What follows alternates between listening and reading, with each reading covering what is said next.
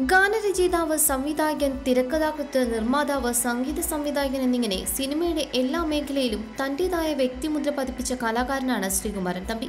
ഗാനരചയിതാവായിട്ടാണ് cinema ജീവിതം ആരംഭിച്ചത്. ആയിരത്തി തൊള്ളായിരത്തി എഴുപത്തിനാലിൽ പുറത്തിറങ്ങിയ ചന്ദ്രകാന്തമാണ് ശ്രീകുമാരൻ തമ്പി സംവിധാനം ചെയ്ത ആദ്യ ചിത്രം. ഇതുകൂടാതെ മുപ്പതോളം ചിത്രം അദ്ദേഹം സംവിധാനം ചെയ്തിട്ടുണ്ട്.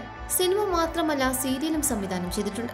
ആയിരത്തി തൊള്ളായിരത്തി തൊണ്ണൂറ്റി മൂന്നിൽ പുറത്തിറങ്ങിയ ചിത്രമായ ബന്ധുക്കൾ ശത്രുക്കളാണ് ഏറ്റവും ഒടുവിൽ ശ്രീകുമാരൻ തമ്പി എഴുതി സംവിധാനം ചെയ്ത ചിത്രം. മോഹൻലാലിനും മമ്മൂട്ടിക്കും ഒരുപിടി മികച്ച ചിത്രങ്ങൾ സമ്മാനിച്ച തിരക്കഥാകൃത്ത് ഇപ്പോഴത്തെ യുവതാരങ്ങളെക്കുറിച്ച് പറഞ്ഞ വാക്കുകൾ സിനിമാ പ്രേമികളുടെ ഇടയിൽ ചർച്ചയാവുകയാണ്. പുതിയ താരങ്ങൾ സംവിധായകരെക്കാൾ മുകളിൽ നിൽക്കാൻ താല്പര്യപ്പെടുന്നവരാണെന്നാണ് ശ്രീകുമാരൻ തമ്പി പറഞ്ഞത്. സിനിമ പിടിക്കാനായി താരങ്ങളുടെ കാൽ പിടിക്കാൻ വയ്യ.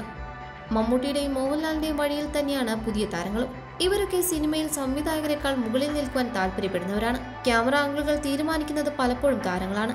അതുകൊണ്ട് തന്നെ ഇപ്പോഴത്തെ സൂപ്പർ താരങ്ങളായ നിവിൻ പോളിയും പൃഥ്വിരാജും തനിക്ക് ഡേറ്റ് തരില്ലെന്നും ശ്രീകുമാരൻ തമ്പി അഭിമുഖത്തിൽ പറഞ്ഞു.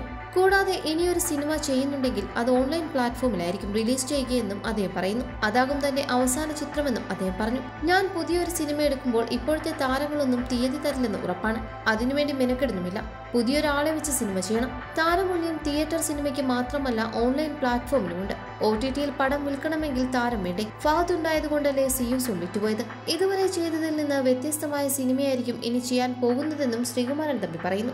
എന്നാൽ സിനിമ എപ്പോൾ ചെയ്യുമെന്ന് പറയാൻ സാധിക്കില്ല.